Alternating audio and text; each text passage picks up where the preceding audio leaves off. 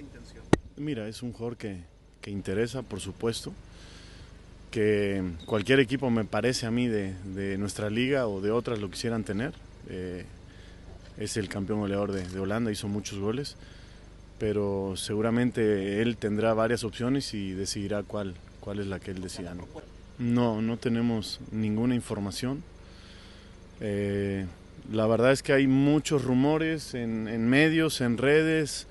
Entonces es difícil poder decir esto sí, esto no, hasta que a nosotros no nos llegue algo en concreto, nosotros tendremos que anunciar algo. O sea, Jesús Gallardo nada, no, no ha llegado ninguna propuesta. No, no, en el momento de no. Pizarro? de Pizarro. Tampoco. Y la cláusula, es verdad lo que se habla de la cláusula que estaba seccionada de acuerdo. Mira, la, la cláusula no es pública, lo que te puedo decir es que la cláusula de Rodolfo es el compromiso de Monterrey con él, fue que es lo mismo que Monterrey pagó a Chivas por él.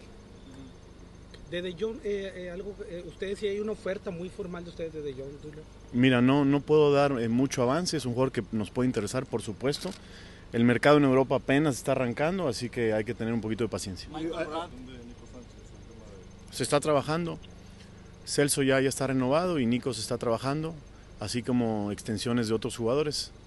El único equipo que preguntó por un jugador nuestro hasta ahora es Boca por Maxi Mesa. Es el único. Es el único. y hasta el momento se mantiene Maxi en el equipo. Sí. No hay intención de que se vaya. En ese momento no, no queremos negociar al jugador.